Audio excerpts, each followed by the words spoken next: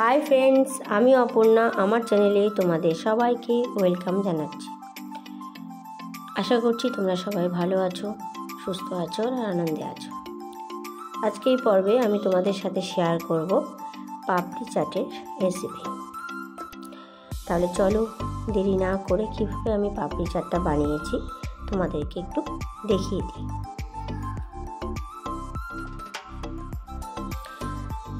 পাপড়ি চাট বানানোর জন্য আমি সবার প্রথমে একটা ডো তৈরি করব ময়দার। তো সেই জন্য দু বাটি ময়দা নিয়েছি। যে দু বাটিতে, আমি ছোট দু বাটিতে ময়দাটা নিয়েছি, সেই বাটির এক বাটি থেকে একটু কম সুজি নিয়েছি। দিয়ে দিচ্ছি এর মধ্যে সাদা তেল। চার চামচ। আর দিয়ে দিব খুব সামান্য পরিমাণে লবণ।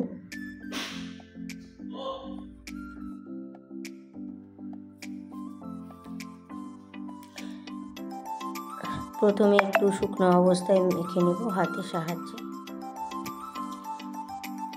শুকনো অবস্থায় মাখা হয়ে গেলে এর মধ্যে দিয়ে দিচ্ছি জল, যতখানি জল লাগবে। দিয়ে দেবো পরিমাণ মতো জল দিয়ে ডো তৈরি করে নেব।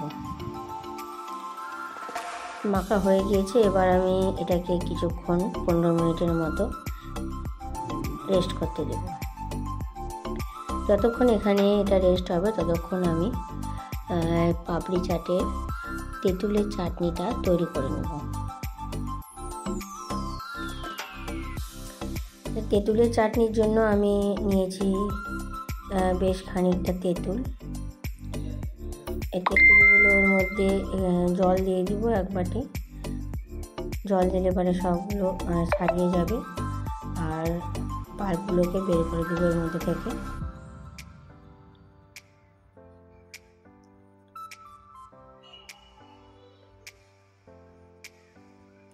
পাঁচ মিনিট রেখে দিব, তাহলে আরও ইজি হয়ে যাবে।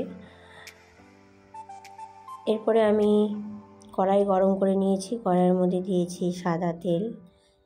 দিয়ে ওর মধ্যে দিয়ে দিলাম এক চামচ গোটা জিরে।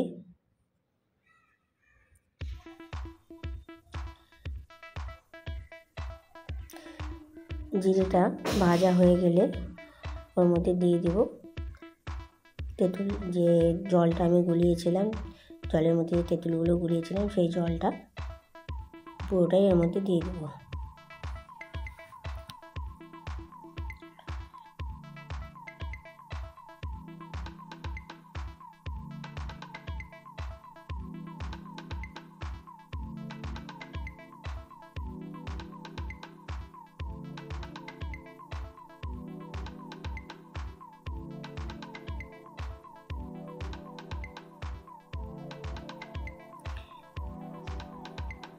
এবার কিছুক্ষণ ফুটতে দেব।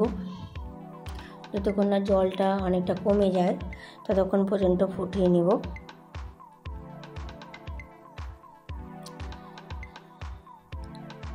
কিছুক্ষণ ফোটা হয়ে গেলে এর মধ্যে দিয়ে দিচ্ছি এক চামচ লবণ আর তার সাথে দেব বেশ খানিকটা চিনি।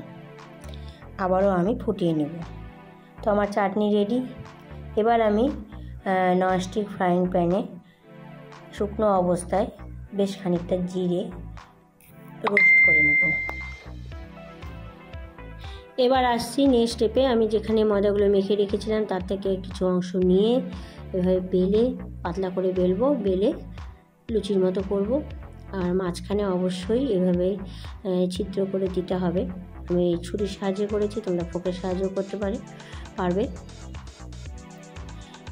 হয়ে গেলে এবার ভেজে নিব। ভাজার জন্য সর্ষের তেল ইউজ করেছি। সাদা তেল, সর্ষের তেল দুটো দিয়ে করা যায়। দুদিকে খুব ভালোভাবে ভাজা হয়ে গেলে করার পরে তুলে নিব। আর পাপড়ি চাটের গুড়ের জন্য এখানে নিয়েছি বেশ খানিকটা সেদ্ধ আলু। আর তার মধ্যে দিয়ে দিব লঙ্কা কুচি, পেঁয়াজ কুচি, টমেটো কুচি। দিয়ে দিব বিট লবণ এক চামচ। তেঁতুলের যে চাটনিটা তৈরি করেছিলাম সেটাও দিয়ে দিব। তোমাদের কাছে যদি ধনিয়া পাতা থাকে, তো ধনিয়া পাতাও দিয়ে দিতে পারো। আমার কাছে অ্যাভেলেবেল ছিল না, তো আমি দিতে পারিনি। তো ভালো করে মিশিয়ে নেব। আর যে পাপড়িগুলো তৈরি করেছিলাম, সেই পাপড়িগুলো দিয়ে এবার পাপড়ি চাট তৈরি করব। তবে সাজিয়ে নিয়েছি, তার উপরে সমস্ত যেগুলো মেখে নিলাম আলুর সেদ্ধ আলু, সেগুলোকে সব এর মধ্যে উপরে ছড়িয়ে দিব। এর উপরে দিয়ে দিব বেশ খানিকটা ঝুরি ভাজা।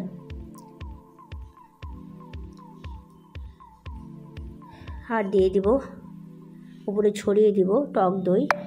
আর আবারও দিয়ে দিচ্ছি বেশ খানিকটা চাটনি, তেঁতুলের চাটনি যেটা আমি তৈরি করেছিলাম। দেখো কি সুন্দর হয়েছে দেখতে। খেতে কিন্তু অবশ্যই ভালো হয়েছিল।